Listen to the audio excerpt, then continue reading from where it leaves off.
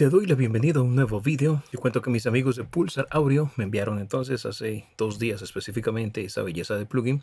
Ya les había podido compartir la revisión del mismo aquí en el canal por situaciones familiares que, que habían captado realmente mi tiempo y no había contado con el mismo para sentarme a hacer una revisión a detalle de esta herramienta.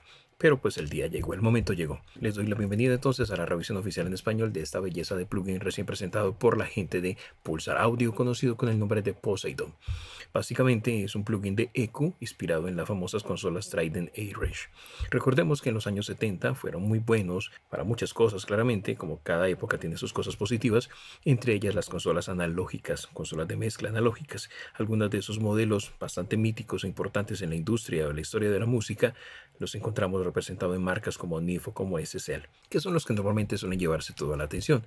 Pero también hubo fabricantes como Trident, que también forma parte entonces de esta rica historia asociada al carácter sonoro de la música de aquella época y del presente, y que aún se utiliza en muchos estudios claramente, y presentaron en su momento la consola A-Range, especialmente su ecualizador, el ecualizador que integraba, que desde que apareció la tecnología digital, la recreación digital de esos instrumentos, ha recibido entonces bastante atención por parte de varios desarrolladores, entre ellos podemos hacer mención de Universal Audio, Softtube también, y desde hoy la gente de Pulsar Audio también se une. Claramente la gente de Pulsar Audio, además de recrear el ecualizador, han agregado su plus, y es que ese ecualizador se inspira, como te indico, en la consola Trident A-Range, y es que Pulsar no solamente se quedó en recrear el carácter sonoro y el aspecto un poco cercano a la unidad original, sino que agregaron algunas cosas importantes como el procesamiento mid-side. Por ejemplo, tenemos un control que se llama Gain Scale, que lo vemos por acá, en un momento hablaré del mismo, diseñado para ayudarnos a alcanzar como el punto dulce de intensidad de ecualización.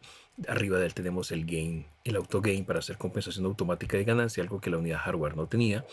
Y añadieron también dos sabores de saturación adicionales que los encontramos por acá con los cuales podemos agregar armónicos de gama baja. Así que es bastante versátil. Como está de lanzamiento, yo te dejo un enlace en la descripción de este vídeo si estás interesado en probarlo de primera mano o en adquirirlo, tiene un descuento especial.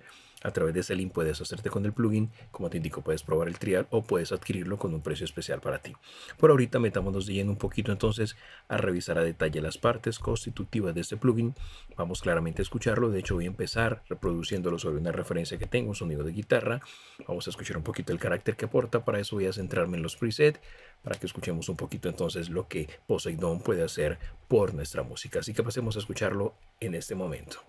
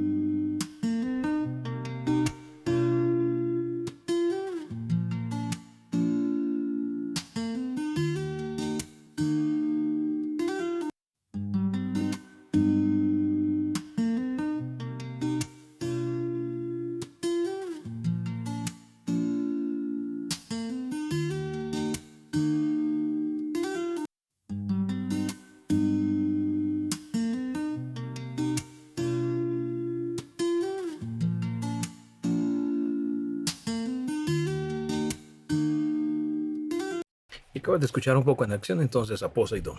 Puse visualizar que antes de arrancar lo que hice fue escalar un poquito su interfaz de usuario, lo podemos hacer desde la parte inferior derecha y desde aquí podemos rápidamente regresar al tamaño que viene por default o de nuevo reescalarlo al tamaño máximo que nos ofrece.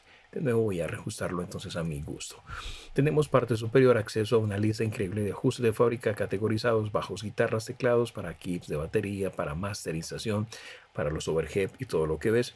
Además, varios productores agregaron su granito de arena con varios presets que puedes encontrar dentro de esas carpetas.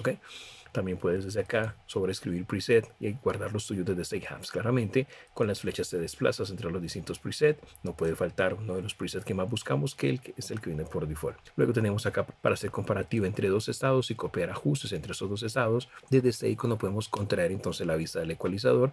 Tenemos la ventana gráfica y los controles, pero si doy clic solamente me quedaría con los controles o si doy clic me crearía solamente con la pantalla gráfica que es interactiva, es decir, desde aquí también podría aplicar ecualización y usar el oído para determinar si es lo que estoy buscando.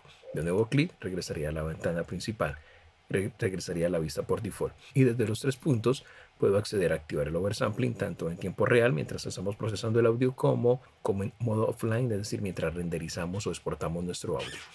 Tenemos para ajustar la ganancia por pasos, pero si lo quieres por pasos, puedes determinar pasos en esas escalas de decibeles, máximo 3 decibeles por paso. También puedes ajustar la frecuencia por pasos usando los medios pasos o pasos completos y tenemos los filtros también de igual manera para configurar. Podemos desactivar esos globitos de ayuda emergentes, voy a desactivarlos y tenemos parte inferior para jugar, para acceder entonces a toda la información de soporte, los manuales, redes sociales y la versión más reciente del momento de hacer la revisión era la 1.0.7. Luego tenemos la pantalla gráfica interactiva donde visualizamos entonces los ajustes que hagamos de ecualización y desde aquí puedes moderar el carácter sonoro que aplicas a tu música. Puedes ver que aparece un hot flotante, puedo habilitar o inhabilitar desde aquí esta banda específica, trabajarle en modo mid-side, que sería básicamente casi que estéreo, o podría trabajar solamente en los laterales o en la parte central. Desde acá puedo quitar entonces esta banda, dando clic en la X. Luego tengo búmetros que me indicarán entonces esos niveles, cómo se encuentran, el comportamiento de los niveles en la señal. Y tenemos acá para visualizar la respuesta de esta pantalla de FFT. La gráfica puede ser rápida o puede ser lenta. Y tenemos este modo infinito en donde se mantiene cuando está habilitado, como en el fondo el análisis previo hecho por el plugin a la medida que el audio se reproduce. Puedes habilitarlo o inhabilitarlo. Realmente no tiene ninguna incidencia en el carácter sonoro de nuestras pistas. Luego tenemos entonces desde acá para ajustar o jugar un poco con el nivel de drive, en este caso la intensidad de la saturación que queremos aplicar. El LED va a indicarnos cuánta saturación estamos aplicando a nuestro audio. Claramente podemos elevar esto a niveles extremos para lograr no solamente saturación, sino distorsión en el audio. Lo ideal es experimentar, dependerá de la fuente de audio que proceses. Luego este plugin nos ofrece dos modos distintos de saturación. Esos modos los tenemos entonces acá. Recrean básicamente en palabras de pulsar audio circuitos analógicos. El modo superior, que es este de acá, representado entonces por la letra griega Pi, que se asemeja a un tridente, va a activar una emulación de los circuitos analógicos de la consola en la que se inspira este plugin. Y eso va a producir pues una saturación bastante suave. El segundo modo que tenemos acá que incluye el símbolo o logotipo de Pulsar, es un circuito original diseñado por la marca para este ecualizador específicamente y le da un carácter un poco más moderno y agresivo al audio. Como te lo ideal es experimentar. Y por último, inhabilitas los dos modos. Tendrías una ecualización totalmente limpia, o sea que el drive no tendría ninguna incidencia mientras lo tengas en esa tercera opción. Luego nos encontramos con el primer filtro. Básicamente es un filtro high pass con el cual vamos a cortar las frecuencias graves claramente. Nos va a permitir limpiar un rango que va desde 0 hasta máximo 200 Hz tenemos entonces, como puedes notar, que pasamos por distintos valores, pero si quieres valores por pasos, te mostré hace un momento acá, te vas a configurar en la sección de filtros que se mueva por pasos. Entonces simplemente tendría los valores fijos que ves ahí en pantalla. 200, 120, 75, 50, 40, 30 y 25 y apagado. ¿Ok? Si quieres más flexibilidad, simplemente te regresas acá inhabilitas el modo por pasos y puedes jugar entonces con valores intermedios entre los mencionados, como puedes ver allí esa con fracciones. Las frecuencias medias graves, graves, las altas y las medias altas. ¿Cómo funciona esto? Ajustas desde aquí la frecuencia incidir y ajustas desde aquí la atenuación hasta menos 15 decibeles o el hasta 15 decibeles. Claramente la banda puede apagarse. También puedes desde acá trabajarle en modo mid-side, aplicar el mismo procesamiento casi que a ambos canales o habilitar solamente el modo mid, por ejemplo. Puedes verlo en pantalla representado en la forma en la gráfica o puedes habilitar solamente los laterales. Y eso es común para todas las bandas. Luego nos encontramos con un low pass filter. Desde acá limpiamos el rango de altas frecuencias. Arrancamos en 4000 Hz. Etiquetado tenemos 15000, pero podemos ir claramente hasta los 20000 y puedes habilitar el modo por paso si estás interesado. Y por último tenemos en la salida un transformador o recrea más bien el plugin el carácter entonces de un transformador. Pero antes de explicar esto, quiero explicar algo asociado entonces a los ecualizadores y te voy a dejar entonces una pequeña tablita ahí en pantalla que le estarás viendo en este momento con relación primero a los filtros. Entonces ya te va a mostrar la configuración exacta del filtro de paso alto en el plugin Poseidon correspondiente a cada combinación de botones del ecualizador hardware original, ¿ok? Y ahora estarás mirando una tabla que proporciona también una guía de correspondencia para que coincidan la configuración exacta del plugin Poseidon con cada posición del hardware original. Allí la estarás mirando. Entonces ten presentes esas tablitas a la hora de hacer tu proceso también de ecualización. Ahora podrás notar que la frecuencia de 5000 Hz, la posición de 5000 Hz en la banda de medios altos, es el único caso en el que el plugin Poseidon se desvía del ecualizador original. En este caso nos indica Pulsar que la curva de ecualización es ligeramente más ancha en el plugin. Eso está hecho de forma deliberada, ya que el ajuste nos permite mejorar la consistencia de la configuración de la banda y mejora la usabilidad general del plugin. Pero pues experimenta con el mismo y si necesitas afectar allí específicamente, puedes complementarlo con otra herramienta claramente. Y esta tercera tabla que te muestro está asociada entonces a la configuración exacta del filtro de paso bajo correspondiente pues a cada combinación de botones del ecualizador hardware original. ¿okay? Ya regresando de nuevo acá a la salida del transform, tenemos entonces que los canales de la consola Trident A-Range contaban con un transformador de entrada bastante limpio, pero carecían de un transformador de salida dedicado eh, pues en su circuito básicamente. Pero la gente de Pulsar lo que hizo fue añadir, introducir una opción que va a agregar un transformador de salida al final de la ruta de la señal, lo que permite pues una saturación a las frecuencias más bajas. Y es una característica que encontramos a menudo en equipos analógicos. Los tres botones que tenemos acá entonces de transfo nos van a permitir seleccionar entre tres modos. El botón inferior, pues aquí donde estoy, lo que él hace es deshabilitar, estamos deshabilitando la emulación del transformador por completo. Tendremos una salida limpia, pero si elegimos el número uno, por ejemplo, vamos a activar una emulación de transformador inspirada en los transformadores Mariner que se encontraban en varios previos clásicos de tipo NIF. ¿ok? Y si elegimos el número 2, pues lo que hacemos es activar un algoritmo personalizado de pulsar que mejora e introduce sutiles armónicos en el extremo inferior. Hay que tener presente que la perilla de drive también va a controlar el nivel en el que se envían el audio a esos transformadores. Es decir, desde aquí no solamente estás jugando con los modos acá, sino que también estás afectando el nivel o intensidad de los modos de transformadores de la salida. Así que cuando configures estos parámetros y la intensidad, ten presente eso. Luego nos encontramos con un control de escala que ya les mencioné hace un momento. Con esto, al bajar la escala, lo que hacemos es, puedes mirarlo ahí en pantalla, de hecho, es que reducimos la cantidad de ganancia que estamos aplicando a las cuatro bandas de ecualización de forma simultánea, llevándolo claramente los ajustes a valores positivos. Entonces lo que hacemos es lo contrario.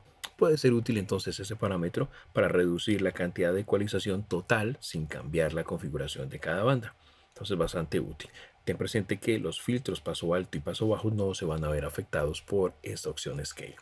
¿Quieres compensar de forma automática la ganancia? Muy útil activándolo con esta opción, ya que recordemos que cuando ecualizamos vamos a percibir también realce en los niveles en la medida que juegues realzando bandas o en la medida que reduzca vas a percibir que reduce el volumen. Eso te puede engañar. Entonces lo mejor es activar ese autogain para que haya compensación. Entonces no vas a percibir en la medida que subes la banda, que sube el volumen, o si lo atenúas tampoco vas a percibir una caída en el volumen. Luego tenemos para activar y desactivar el plugin y la ganancia general del plugin.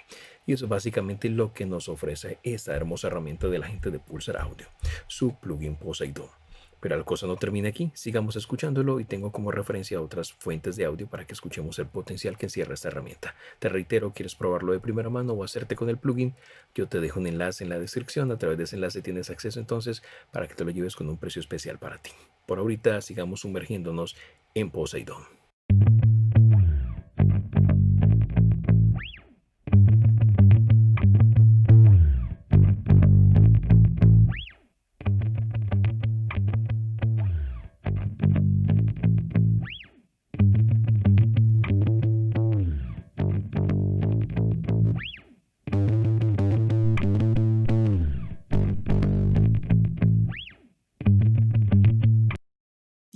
Me feel so real. You make me feel so real. Nobody else could love me. You make me feel so real. You make me feel so real. Nobody else could love me. You make me feel so real. You make me feel so real. Nobody else could love me. You make me feel so real. You make me feel so real. Nobody else could love me. You make me feel so real.